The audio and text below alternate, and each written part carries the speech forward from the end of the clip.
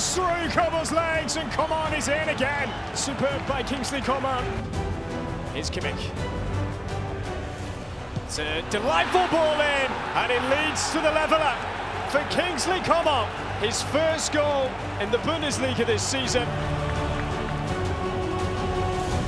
With a little stretch here. It's Kingsley Coman. Oh, he squeezed it through Coman in the third minute of stoppage time.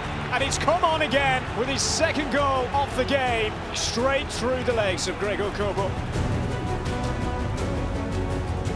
Coman for Alaba, linking it well, finding that bottom corner to perfection.